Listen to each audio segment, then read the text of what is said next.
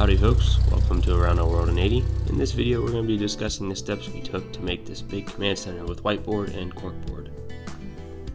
Let's get started.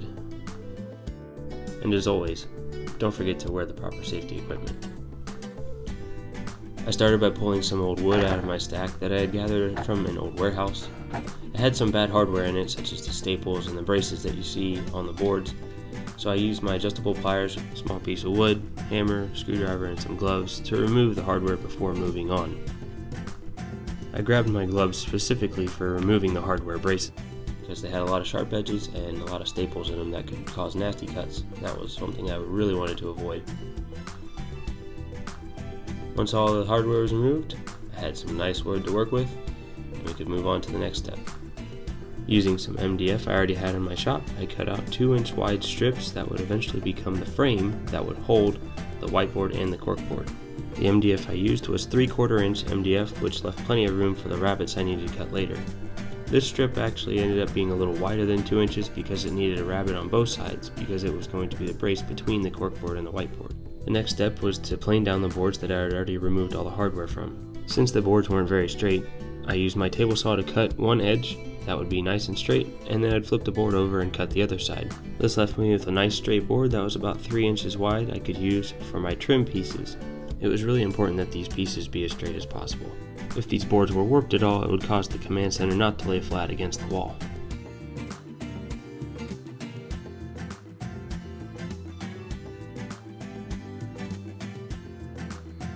I then took one of the boards and ripped off some 3 quarter inch wide strips. These strips would later become trim for the back of the command center so that it had a little bit more of a finished look when it was hanging on the wall. These strips would not only help with the aesthetics of the piece as it was hanging on the wall, but would also help to serve as a way to secure the MDF frame in the back of the piece.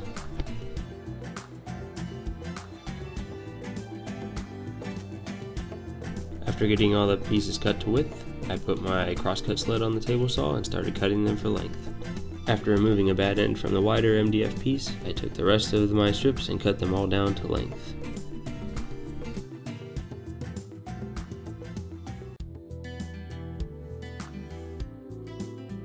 Once all the trim and MDF pieces were cut, I moved on to the vertical slats that would become the bottom of the command center.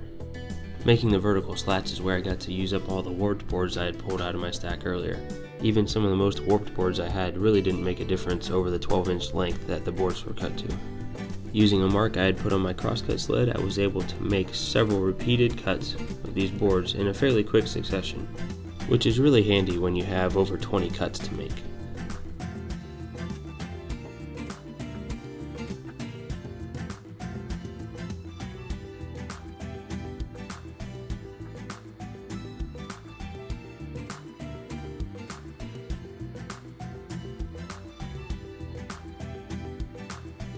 Now that all my boards were cut to length, it was time to switch out the standard table saw blade for a dado blade and cut a few rabbets on the MDF boards I had cut earlier.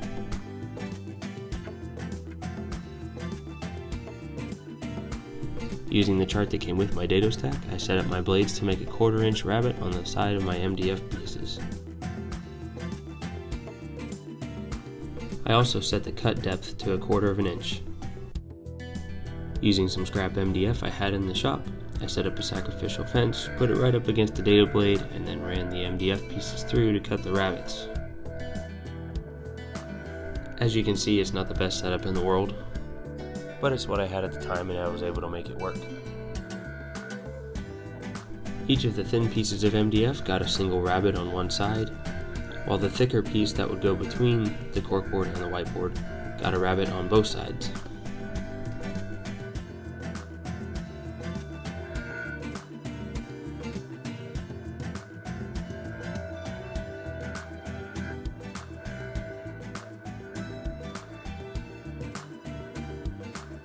Now it was time for the most monotonous part of the entire build. Sanding everything. I sanded all the trim pieces first, making sure they're nice and smooth, then moved on to sanding all the vertical slats. I had 23 of these to sand, so it took quite a while. I sanded the tops, the bottoms, and then I would sand the sides as well, just to make sure there was no splinters and that the wood would take a finish really well. A good pair of headphones with some fun music and a shop fan are definitely your friends for this part of the process.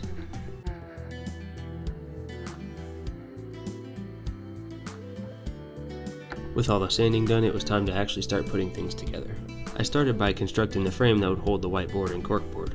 I used glue and brad nails to secure everything together. I did forget to take video of this process, however with the pictures I feel like it's pretty easy to see how everything went together. Feel free to ask questions in the comment section if needed. I then laid out everything as a dry fit, just to make sure it was going to go together the way planned. Since it all looked good, it was time to move on to cutting my pocket holes. The trim pieces were going to be responsible for most of the rigidity and the structural strength of this piece. Since pocket hole joinery tends to be really strong, I decided it would be the best method for joining my trim pieces together. The pocket hole screws would go from the vertical pieces of trim into the horizontal pieces of trim, so I ended up with six total pocket hole joints that I had to cut holes for. Once I had all holes drilled, it was time to move on to the assembly process. Each joint was assembled using glue and screws. I also used my clamps to make sure the boards were nice and secure and didn't move while I was driving screws into the joint.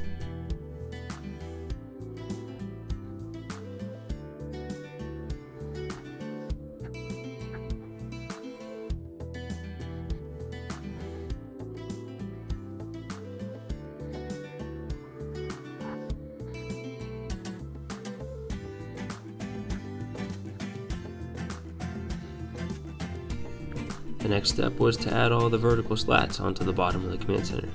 I ran a bead of glue on the top and bottom trim as well as the side, and then edge glued each board as it went into place. I secured all the boards to the frame using my brad nailer and inch and a quarter long screws. I also had to be really careful not to go too fast and make sure the alignment was good on each board because any mistake made at the beginning would be compounded at the end with all the vertical slats in place, I went ahead and drilled some pilot holes through the MDF frame. I used my number 8 size countersink bit and countersunk the holes, that way the screws would sit down in the frame instead of on top of it and scratch the wall when the piece was hung. I then drove some screws through the top holes just to hold the frame in place while I worked on the trim. The trim was attached to each side of the back using glue and brad nails, being careful not to get any glue on the MDF frame itself since that was supposed to be a removable part in the event that we needed to change out the corkboard or the whiteboard. The trim was attached fairly close to the MDF frame so as to give it a snug fit but not so snug that I couldn't get the frame out fairly easily. At this point I grabbed another one of the reclaimed wood boards that I'd gotten from the warehouse and went ahead and gave it a really good sanding. This would eventually become the French cleat system that I used as a rail on the front of the command center. To make the cleat, I went to my table saw and set the blade to a 45 degree angle. I then set up my table saw fence so that it would give me a rip right down the middle of the board. This gave me two long pieces, each with a 45 degree miter on one side.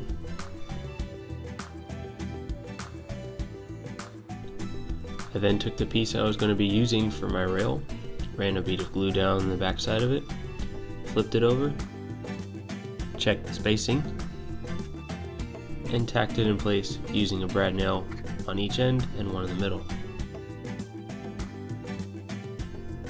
I then flipped the whole command center over so that I had access to the back. From there I marked out the location of the rail on the front. Then using my countersink bit, drilled several holes into the back of the rail through the vertical slats.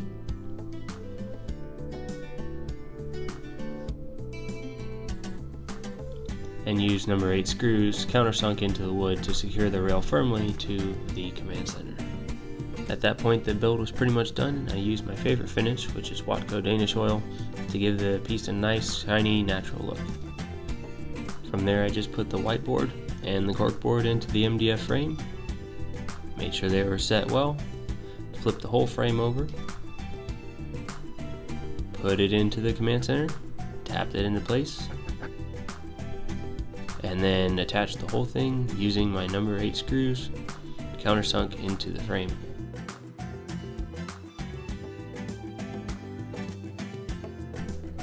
During the build I had actually made this little shelf to go along with the French cleat system. I went ahead and finished it and just stuck it on here, took a little video to show how the French cleat system worked. The final part of the process was to make a way to hang this whole thing up. Using a 1 inch Forstner billet, I drilled about a half inch deep hole at each top corner of the frame. Using the first two holes as reference, I marked out and drilled three similar holes equally spaced across the top of the back of the command center. Next I took a piece of scrap aluminum stock bar I had and marked off five equally spaced sections. I marked out a hole location about a half inch from the top and used a quarter inch drill bit to drill each hole.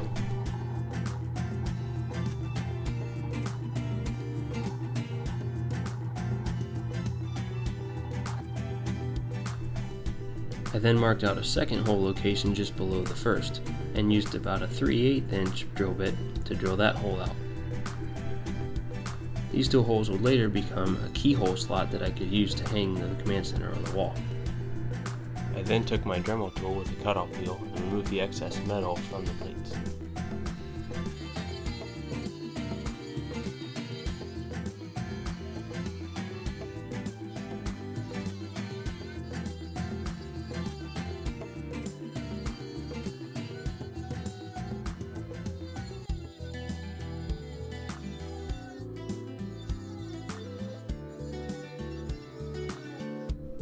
With the keyhole slots cut, I took files and went ahead and filed off all the burrs and rough edges in all the keyhole slots.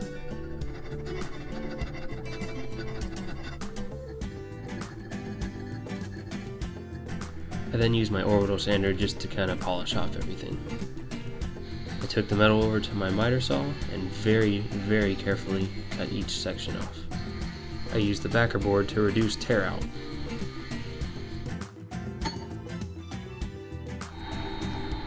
Each keyhole plate was then attached, running a pilot hole through the keyhole plate first, and then attaching it later with the screw. I initially decided to just go with two screws on each plate.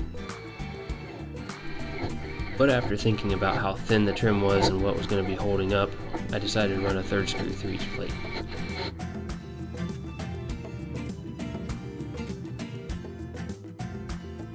Since the spacing on the plates was kind of weird, I ended up trying a new method to hang everything up. I took some jute rope, stretched it across the back of the board, and marked out each location on the rope with a black sharpie. I then marked out the location of my first hole in the wall, drilled the hole, added the anchor, and put the screw in. I then took my jute string that I had marked earlier and made sure that the first mark was exactly in line with the first screw, pulled it taut along the wall, made sure it was level, and then marked out the location of each screw hole that I should be drilling and putting in the wall. I then drilled and added the anchor for the middle and end, checked the level between those two, and then added the last two anchors and screws.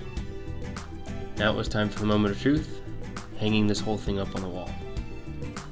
As you can see, I kind of struggled to get the first screw in place, but I was finally able to get it to settle into place.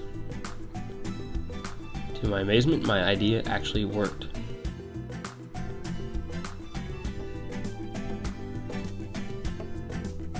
Yeah, exactly. Everything was hung up well. I put my little shelf on, which I had added some hooks to so I could hang some keys. And there you have it. This was just another attachment I made that fit onto a rail. It's just a little mail catch. Catches all of our magazines, any mail that's important that comes in, stuff like that. The total cost of this build was $7. I had most of the stuff at the house already. The only thing I really had to purchase was the whiteboard and the corkboard. So that's it for this build. As you can see, there's plenty of room for customization and changing the dimensions to whatever you would need in your own household. If you liked the video, we'd appreciate a like or subscribe down below. Stay tuned for more builds as we move through our house doing cheap renovations to each room. Thanks again for watching, See y'all next time.